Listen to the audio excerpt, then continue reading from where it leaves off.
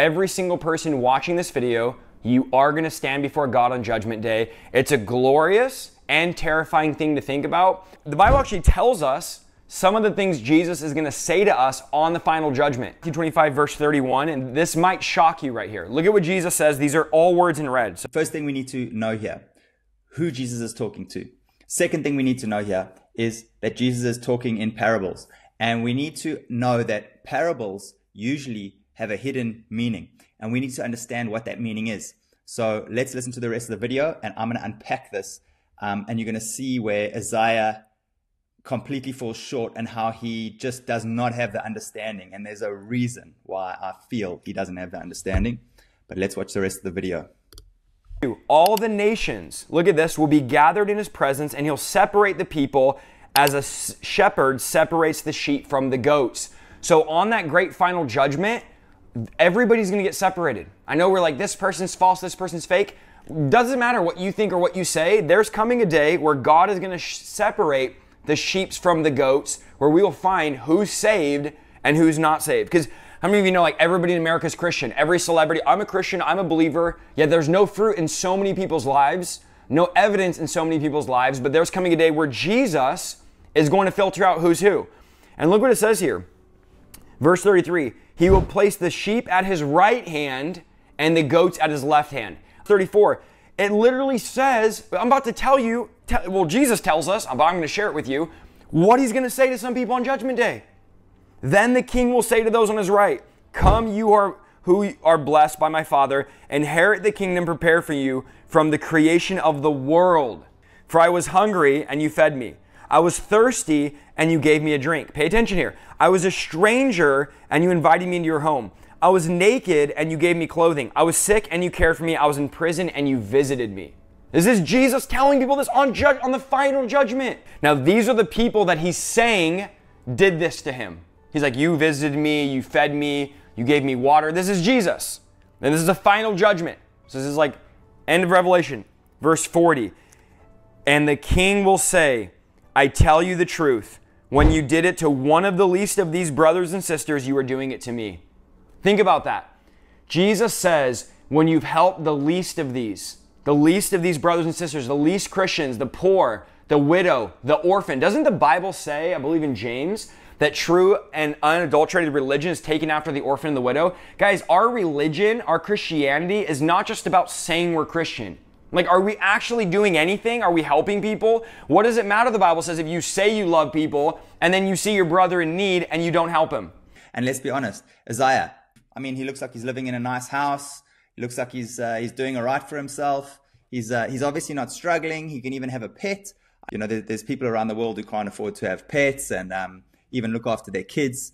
Uh, so why isn't he help? Why are we not helping more? Like if you think like this, that that's what you have to do, then where is the actual, the benchmark? Is it like I help, I did a bit more than those people? Or is the benchmark Jesus? Did Jesus do enough? Of course he did enough. He did more than enough. So do we literally have to be like Jesus? Is it possible for us to ever be that good? Is it possible for us to ever help that much? Let's keep watching this video.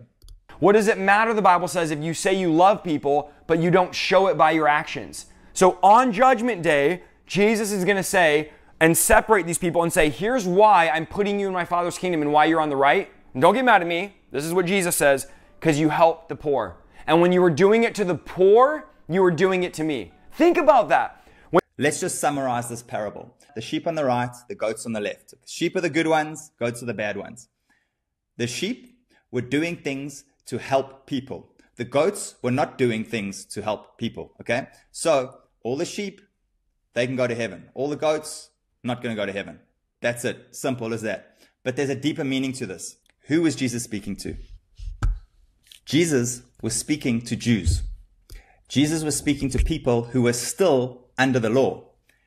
And the meaning of this parable was to explain to them that it was not, it's not just about keeping the law by not doing bad things, by not committing adultery, by not stealing, by not um, using God's name in vain. Disobeying the law is also not doing things that you know are right, that you should do, by helping homeless people, by helping widows, by doing things for your fellow man. If Isaiah was honest with himself, he was literally lying to himself that he thinks that he does enough for his fellow human beings that God's gonna, gonna be like, cool, you can come on the right.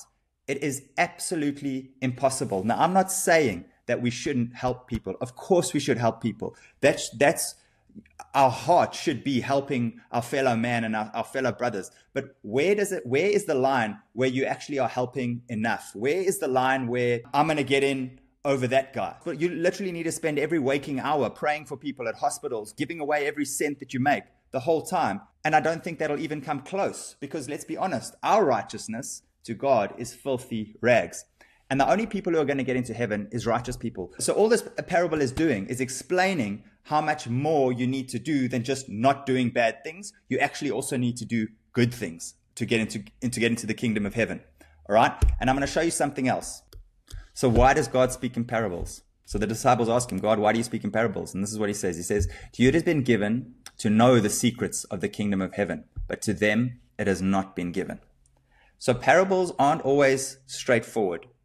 There's usually a deeper meaning in parables. And he says, this is why I speak in parables, because seeing they do not see, hearing they do not hear, nor do they understand.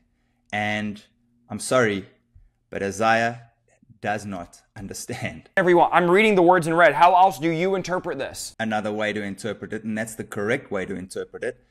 God is speaking to Jews in this parable about the law and how they can be righteous. But let's just see how Christians are, are righteous. All right. So we're going to go to Romans 3, and I'm going to show you in scripture how Christians are righteous. There's only one way for a Christian to be righteous. It's not by doing more good deeds, helping more people, going to more prisons, um, praying for more sick people, casting out more demons. That is not how a Christian is righteous because all of those things fall under works of the law. The only way that we can be righteous is this but now, apart from the law, the righteousness of God is revealed apart from the law, being witnessed by the law and the prophets. The righteousness of God comes through faith in Jesus Christ. That's the only way we can be righteous.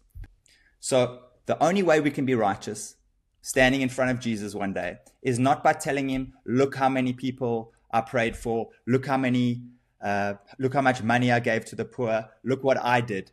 It's all about your faith in Jesus Christ. When I'm standing in front of the judgment seat and God asks me why I deserve to get into heaven, all I'm going to do is I'm going to point to Jesus because I know that my works and my self righteousness is, is useless.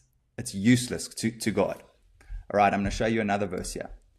Okay, we're going to go to Philippians 3, verse 9. Okay, this needs to put you at ease that there's you don't need to worry. You don't need to stress one day when you're standing in front of Jesus because because of him that we are going to heaven, not because of us. You don't need to have any any condemnation. You don't need to have any fear. All right. So look here. So it says, not having righteousness of my own that comes from the law, but that which comes through faith in Christ, the righteousness of God that depends on faith. My righteousness, I get my righteousness from Jesus. That's it. I don't look to myself. And unfortunately, Isaiah is completely confused. And I'm going to tell you why he's confused because I actually don't think he has the Holy Spirit to help give him the understanding. He takes it completely literally and he doesn't understand the context in which things are written. We also need to understand something. Scripture is written for us, but it's not all written to us. Jesus was speaking to the Jews at the time, telling them where they fall short. He wasn't speaking to Christians at the time. He was explaining to them that they're going to need a savior. And these verses just prove and show that we just have to have faith in Jesus to be righteous. And if we're righteous, we can enter the kingdom of heaven. Uh, it's bold, it's Jesus, and yeah, let's do the work. Do you even hear what he's saying? Let's do the work. I mean, that's how he finishes off his video. Ephesians 2, verses 8. For by grace you have been saved through faith and it is not your own doing. It is the gift of God. You have been saved by your faith in Jesus, and God has given you a gift, not as a result of works, so that no man can boast. Unfortunately, you're reading the Bible without understanding. And, you know, I pray that you will get some understanding and actually understand the gospel and the good news one day. Follow, like, and all my and all my Christian brothers and sisters who understand the gospel out there. I'd love to see some comments. Until next time, cheers.